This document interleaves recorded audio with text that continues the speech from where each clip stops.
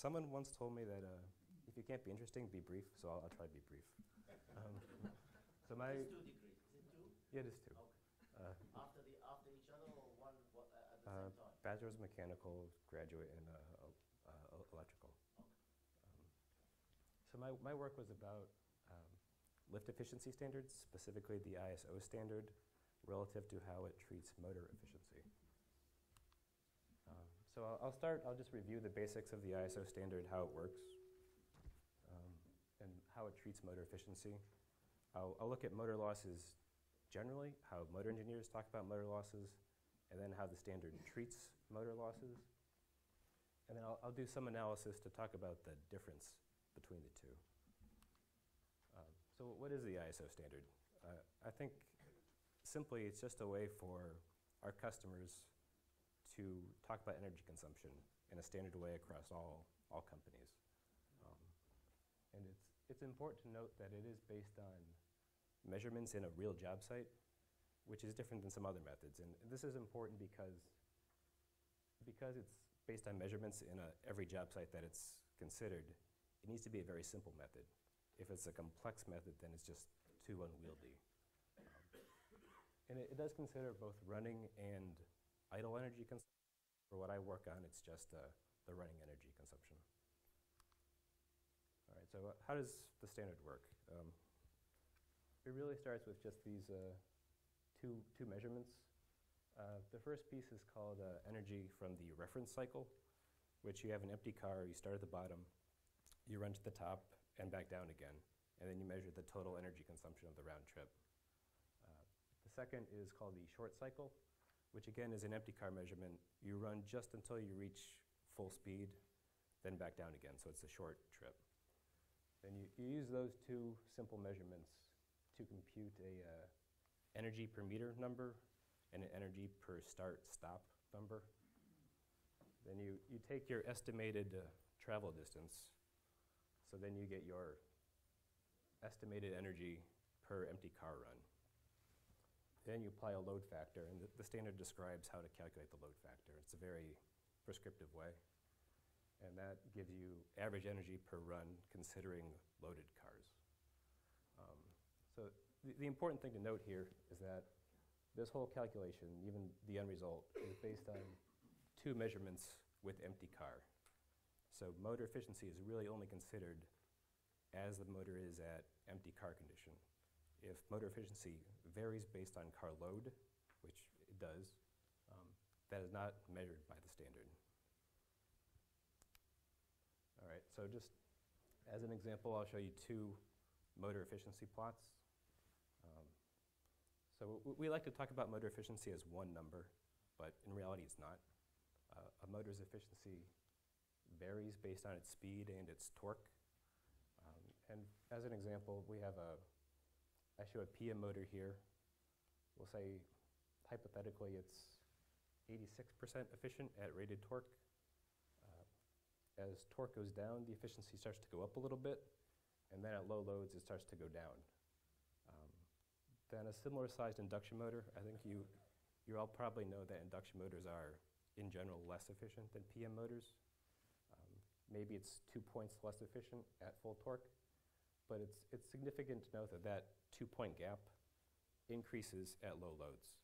So PM motors tend to have a much flatter type of efficiency curve. Induction motors, the efficiency falls with load at low loads. Um, so the, the question is, does this matter?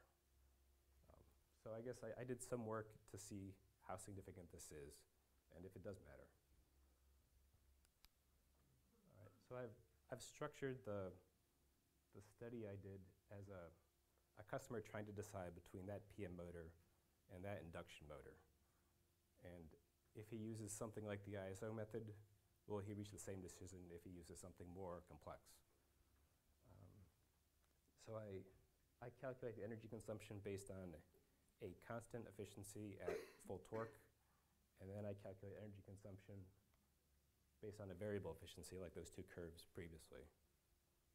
And then I compare the two. And uh, ideally, if those two numbers are the same, then this doesn't really matter a whole lot. If they're different, then maybe it's more significant. Alright, so it's quite simply, I, I use just one example lift. I look at a, a low-rise elevator. I look at a distribution of loads in cars, a distribution of travel distances. For each condition, we calculate torque, speed versus time profiles, and then we apply a loss model to get a, uh, a loss versus time curve, and then just simply take the average to get an average loss. And then we compare the two average losses and see what the difference is.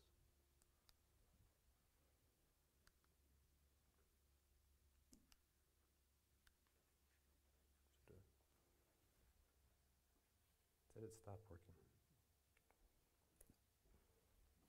Sorry.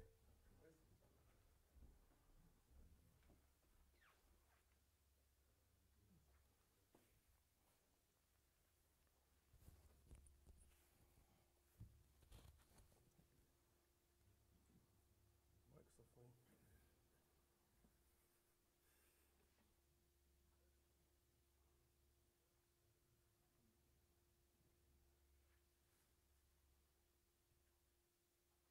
What's that deal? Alpha three? Uh, yeah, just one more.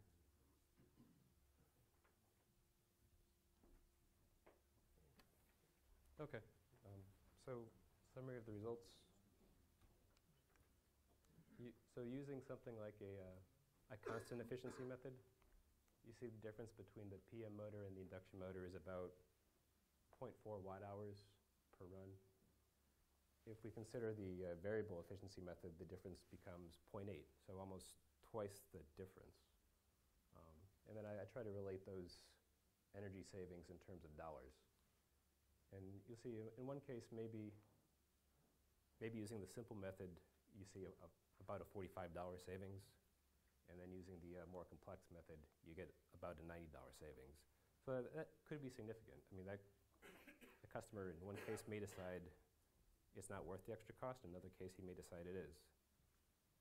Um,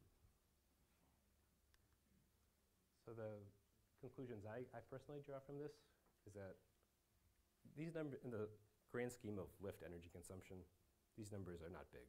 Um, But specifically for motor energy consumption, I think they are significant. And so I would suggest, the ISO, the ISO standard is very good, of course, but it's not really appropriate for measuring small differences in motor performance. Um, Of course, we, we could look at trying to improve the ISO standard, but because it's a field method and it's based on empty car measurements, it's almost necessarily limited. I think to improve it, you would have to add weights and, our, I mean, I, personally, our, our mechanics do not like using weights, and I'm sure yours are the same. So, that's all.